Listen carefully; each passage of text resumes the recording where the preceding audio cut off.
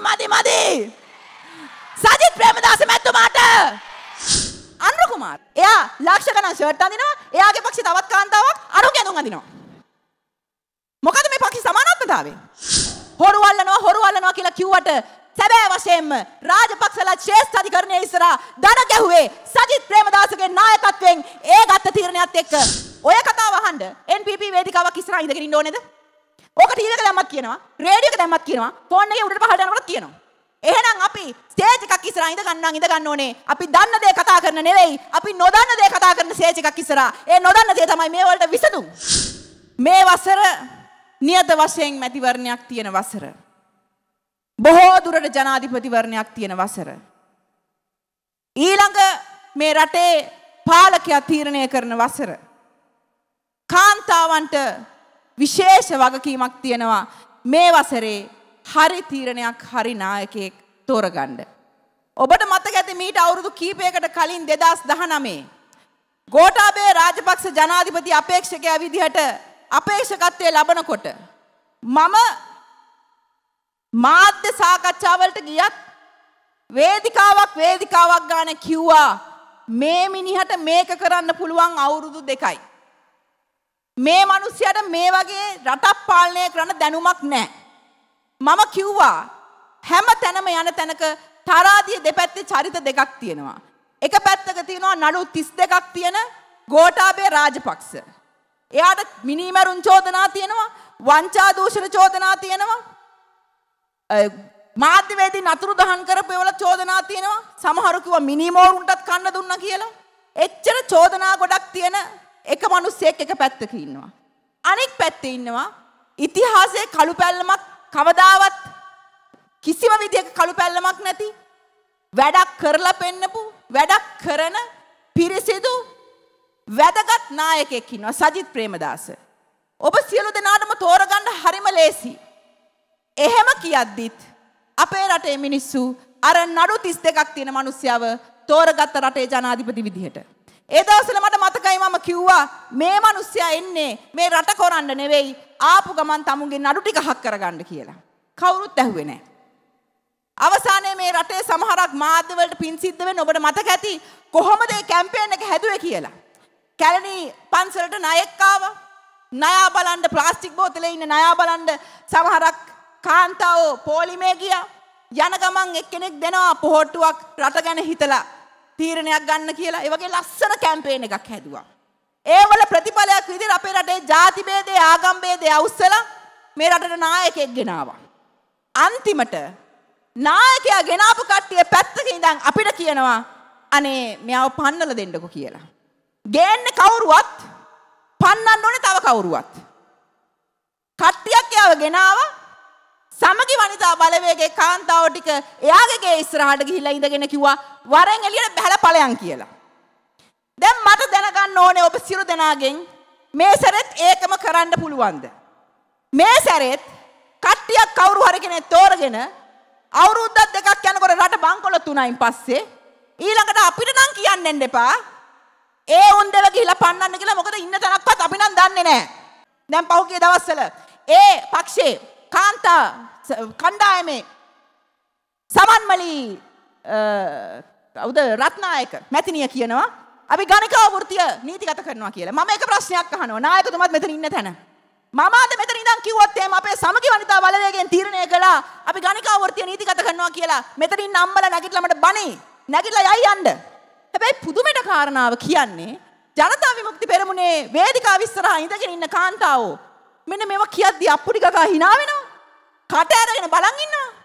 ඒ හින්දා ආදරණීය අම්මේ මේ පිටිපස්ස බලන්න. අභිමානයෙන් ශිෂ්ටත්වයෙන් ඉදිරියට මෙතන ඉන්නේ අභිමානවත් කාන්තාවන්. මෙතන ඉන්නේ ශිෂ්ටත්වයෙන් හෙබි කාන්තාවන්. මෙතන ඉන්නේ දිරිය කාන්තාවන්. මේ කාන්තාවන් ඔය ඒ සමහරක් සමුළුවල ඉස්සරහා ඉන්න කාන්තාවන් වගේ මේ ස්ටේජ් එක උඩ නොහොබිනා කතා කියන ඒවා වලට උඩ පැන පැන අප්පුඩි ගහන විදිහේ සංස්කෘතියක් මේ කන්ද උඩරට මේ කාන්තාවට නෑ කියලා අපි කියන්නේ ඉතාමත් ආඩම්බරෙන්. ඒ හින්දා ආදරණීය අම්මේ දැන් මේ මේ දැන් අපේ රෝහිණී මන්ත්‍රීතුමියත් කිව්වා කිසිම නීතියෙන් ප්‍රශ්නයක් නැහැ. හැබැයි අපේ රටේ තියෙන 1841 පාදර නීතිය කියලා නීතියක් ගෙනලා තියෙනවා සුද්දාගේ කාලේ. ඒ කියන්නේ පාරේ සැරි සරන්න බෑ. ඒක තමයි තියෙන නීතිය. මම හරිනි අමරසූරිය ගරු පාර්ලිමේන්තු මන්ත්‍රීතුමියට අභියෝගයක් කරනවා. ඔබතුමිය පාර්ලිමේන්තුවේ ඉන්න එකම කාන්තා නියෝජනයේ පක්ෂේ. ඔබතුමියට ඇත්තටම ඔය එක මේ ගැරලියට කතා කරන්න අවශ්‍ය නැහැනේ. ගණික වෘත්තිය නීතිගත කරනවා තමුන්ගේ විවස්ථාවේ තියෙනවා තමුන්ගේ ප්‍රතිපත්ති ප්‍රකාශය තියෙනවා කියලා කාන්තාවන්ට කියන්න ඕනේ නැහැ. ඇයි හේතුව එහෙම නීතියෙන් ප්‍රශ්නයක් නැහැ. තියෙන එකම දේ මං ඉස්සෙල්ලා කිව්වා වගේ 1841 ආපු පාදර නීතිය. මම ඔබට අභියෝගයක් කරනවා. ඔබට ඇත්තටම කැක්කුමක් තියෙනවා නම් හෙට දාන්න මන්ත්‍රී යෝජනාවක් පෞද්ගලික මන්ත්‍රී යෝජනාවක් 1841 ඉඳන් ආපු මේ පාදර නීතිය අහෝසි කරන්න පාර්ලිමේන්තුවට පෞද්ගලික මන්ත්‍රී යෝජනාවක් දාන්න කියලා මං හරිනි අමරසූරිය මැතිනියට අභියෝග කරනවා එතකොට අපි පිළිගන්නම් ඔයා ඔය කියන කතා ගැලරියට කියන කතා නෙවෙයි අවංක වශයෙන්ම කාන්තාවන්ගේ සුරක්ෂිතතාවය ගැන හිතලා කියන කතාවක් කියලා. ඒවා කරන්න බෑ. ඒගොල්ලෝ කයිය ගහන කයිය නායකල විතරයි. ආදරණීය දෙමව්පියනි මම හැම අවස්ථාවකම කියනවා. අවුරුදු ගණනාවක් තිස්සේ අපි පුරුදු වෙලා තියෙන ස්ටේජ් එකක් ඉස්සරහා ඉඳගෙන ලස්සන ලස්සන කතා අහන්න. අපේ නායකයාට ඔබව hina ගස්සන්න බෑ. අපේ නායකයාට ඔබට විහිළු කතා කියන්න බෑ. ඔහු ගැලරියට කතා කරන්නේ නැහැ. ඔහු එදා ඉඳන් අද වෙනකන් ඔහුගේ සෑම කතාවක්ම අහලා බැලුවොත් එහෙම අනවශ්‍ය වචනයක් කියලා නැහැ. හැම අවස්ථාවම කියලා තියෙන්නේ අනාගතයේ රට බාර අරගෙන කාන්තාවන් වෙනුවෙන් දරුවන් වෙනුවෙන් මේ රටේ විවසායක කාන්තාවන් වෙනුවෙන් ව්‍යාපාරික කාන්තාවන් වෙනුවෙන් මේ සියලුම කාන්තා ප්‍රජාව වෙනුවෙන් කරන වැඩ කොටස ඔහු කියලා ඇති. හැබැයි ඔහුට ඔබ hina ගස්සන්න බෑ. ඔහුට ගැලරියට කතා කරන්න බෑ. ආදරණීය මව්වරුනි මව්වරුනි අපි මෙච්චර කල් මේ රටට මේ වගේ තත්ත්වයක් උදා වෙලා තියෙන්නේ ගැලරියට කතා කරන නායකයන් තෝරලා නෙවෙයිද? තවදුරටත් අපි මේ කාර්යය මේ විදිහට කරගෙන යනවද? ඔබ බලන්න මම මේ උදාහරණය කියන්නම් මහින්ද රාජපක්ෂ.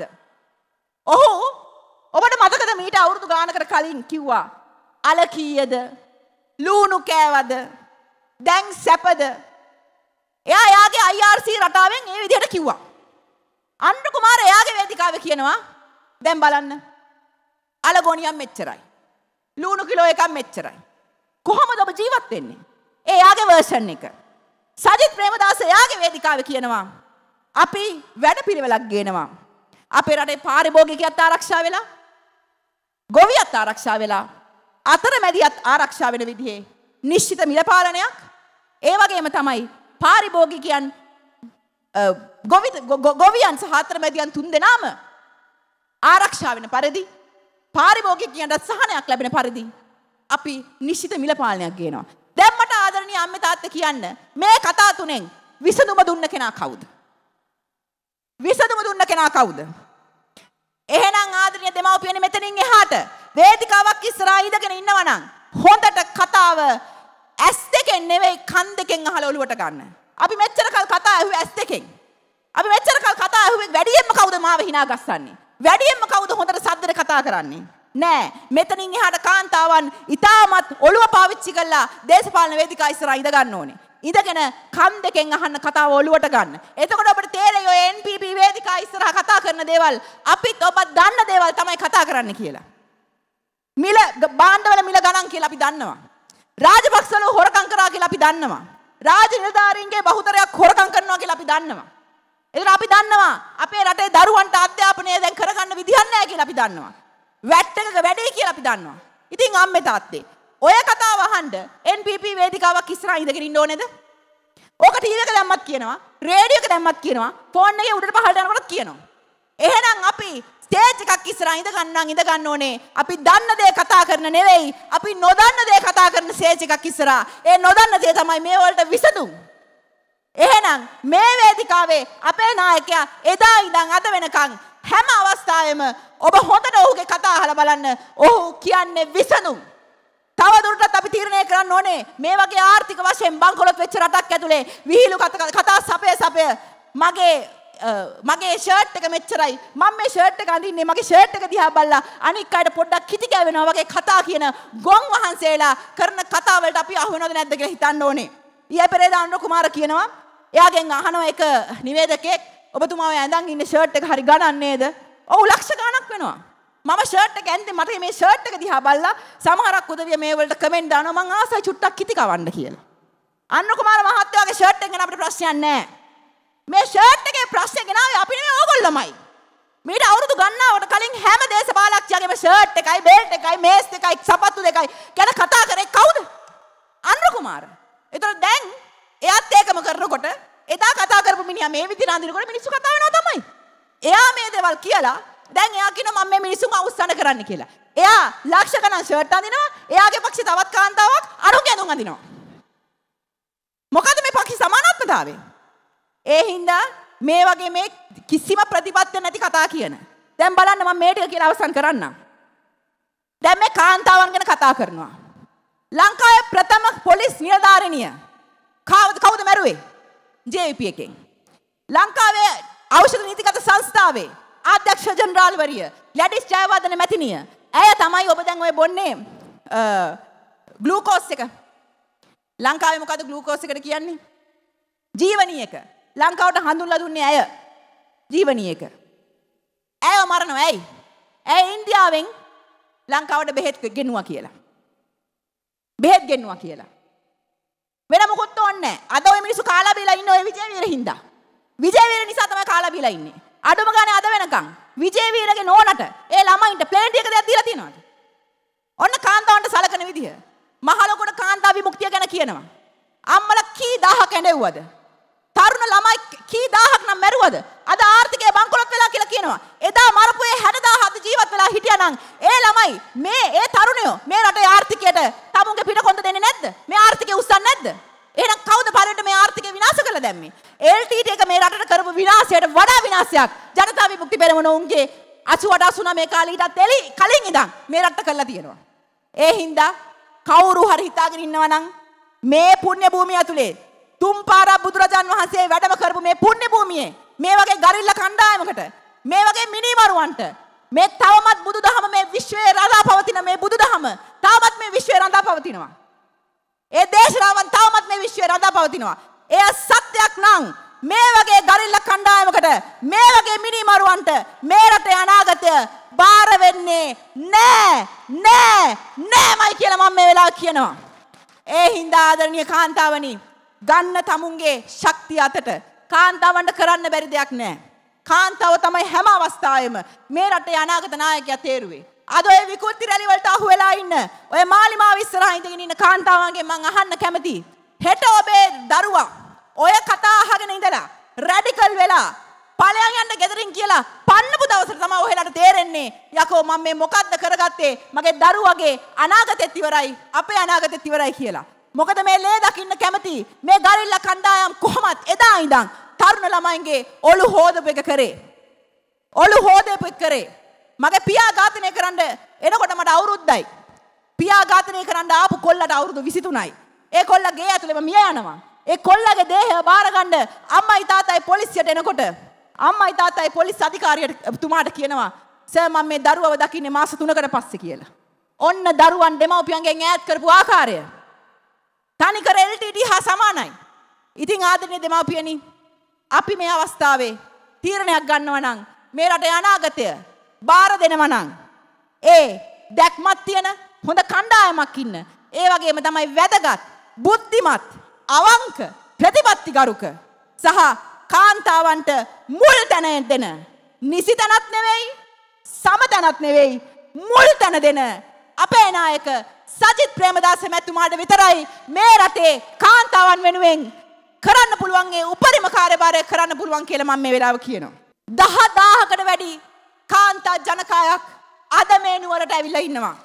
නායකතුමනි නුවරින් පටන් ගත්ත මේ ගැම්ම මුළු ලංකාවෙම අතුරු සිදුරු නැතුව කාන්තාවන්ගෙන් වැඩිම ප්‍රතිශතය ඔබතුමාට හිමි වෙනවා. නොඅනුමානයි. ඒක ඔබතුමාට ඇරෙන්න වෙන කාටවත් හිමි වෙන්නත් විදිහක් ඇත්තෙම නෑ. මේ ලංකාව ඇතුලේ ජනාධිපති අපේක්ෂකයෝ ඔබට දුන්නේ පොරොන්දු විතරයි.